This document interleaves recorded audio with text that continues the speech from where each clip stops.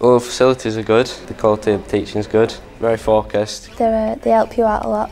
You have to come in and clock in, just like you would at work. They treat you like adults.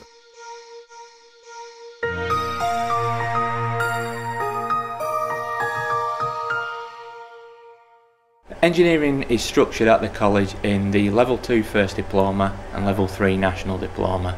They are both broad-based qualifications that will allow the learner to see what areas of engineering that they like and choose a correct career path.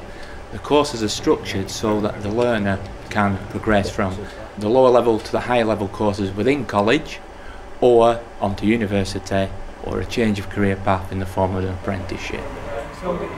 I enjoy the practical side and also enjoy the theory side. It's all balanced, so it's the best of both things all into one. I hopefully want to leave uh, college and uh, go to university.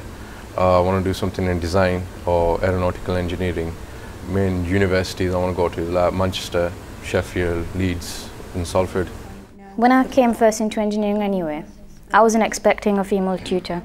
And yeah, it's boosted up my confidence more in engineering.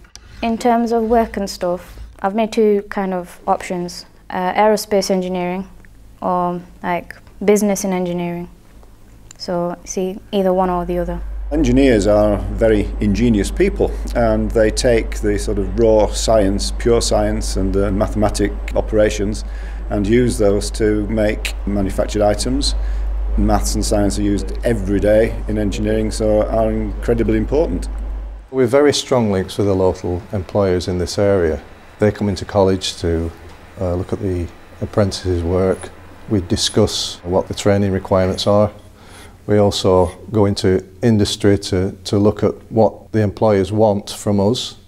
Um, and we need to do this for the, obviously for the, uh, the future of the college. We need to find out what the new technologies are and put that into training packages for the apprentices.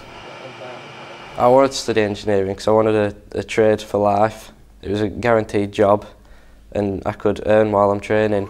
Engineering, this whole block is like my second home. A lot of the engineering companies around here work with Nelson Cowan College because it's good for engineering. It's got a good reputation. It, everyone does well.